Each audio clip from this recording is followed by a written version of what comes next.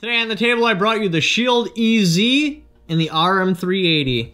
You will see a price split of about $85 the RM380 being about $85 cheaper than the Shield EZ. The RM380 you can get a full grip on.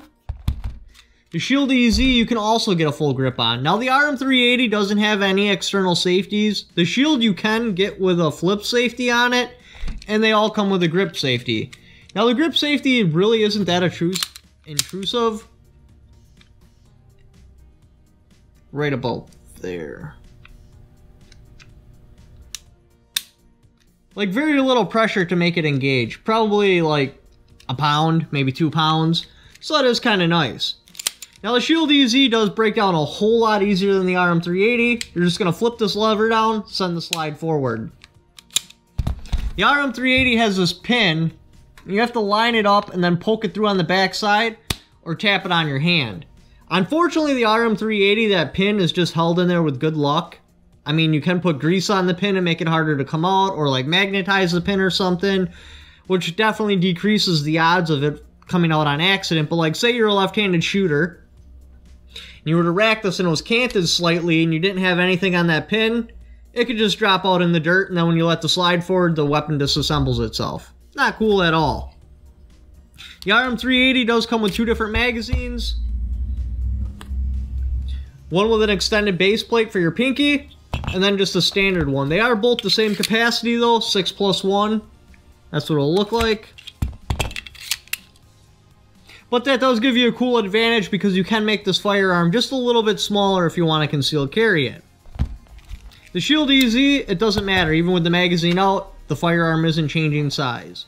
Now the Shield EZ does have a little tab on it to help make you make it able for you to load the magazine easier, which is kind of cool. The RM380, just a standard magazine.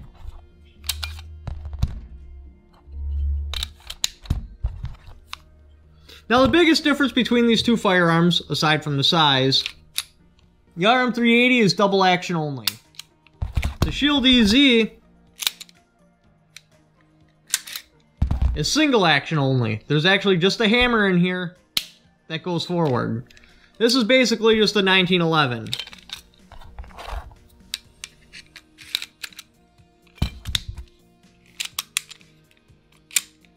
The overall style of the firearms, I do think they both look good.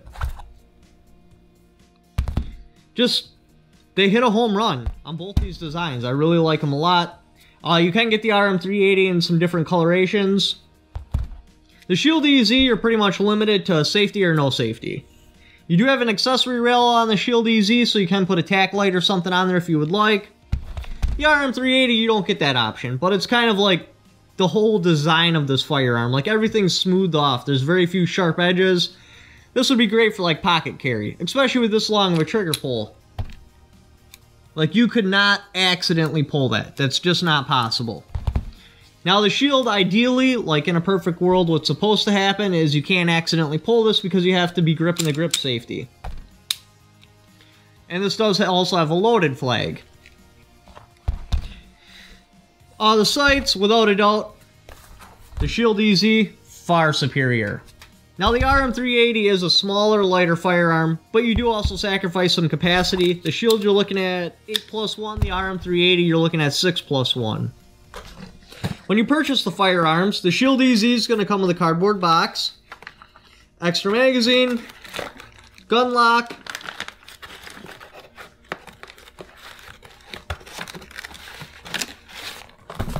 owner's manual, warranty card, no sticker. The RM380 does come with a nicer box. You get your two different styles of magazines, firearms lock, owner's manual, no sticker. But the box is kind of cool. It's cut out for the firearm. I do like it a lot better than the shields. Is the box really that important? No, not for these because these are concealed carry firearms and they should be on you, not in a box, not in a gun case, on you. Trigger break. Shield EZ.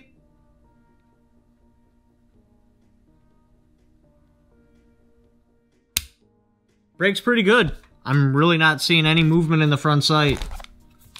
RM380.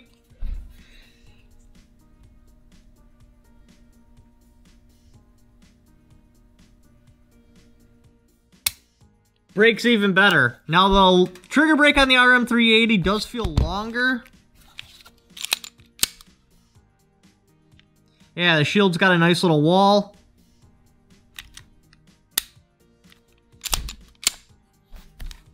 And then a snap. The RM380.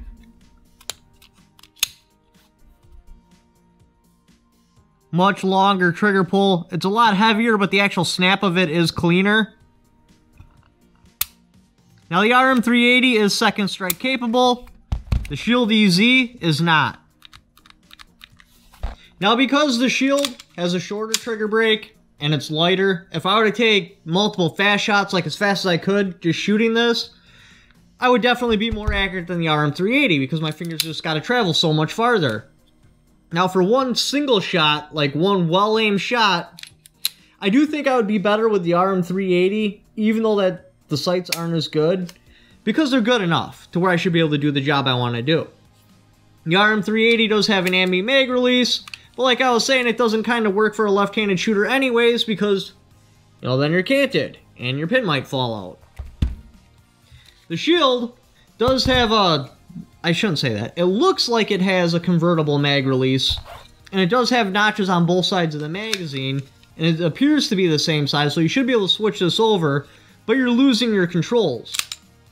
Your slide release is on the wrong side, and yes, this is a slide release because it's even got texture on top. And your takedown. This is made for a right-hand shooter, but it could double up as a left-handed gun. This is more of a left-handed gun, you just have to, you know, pay attention to that pin. That's not held in there with retention. That's just held in there with good luck. Again, like I said earlier, you could magnetize it or put grease on it, eliminating that problem, or at least reducing it to where it's not a problem. Controls from your normal shooting position. RM380, very easy to hit the mag release.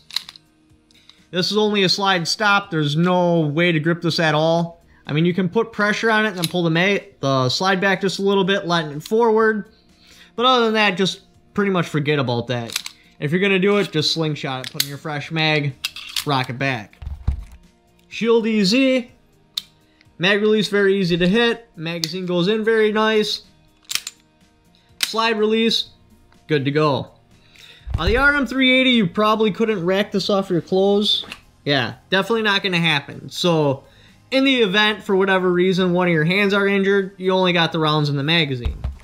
Shield, this does also have a hump on the back sight, so this would also be very difficult to rack off your clothes. But it is doable because the slide is light enough.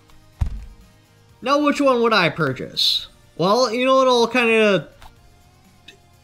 It's all on what you'd want to use it for. Both of these are incredibly easy to rack. Like, I can't express that enough. The RM380 is slightly harder, but that's just because it's a smaller firearm. Uh, your shield does have a longer barrel, so you are going to get a little bit more velocity, which is kind of cool. It does also have front slide serrations. Are they practical? Probably not. The RM380, the serrations are very nice. They are cut at the proper angle too. Same with the shield. Now, if I'm going to conceal carry the firearm because it's double action only, it's smaller, it's lighter, I would probably go with the RM380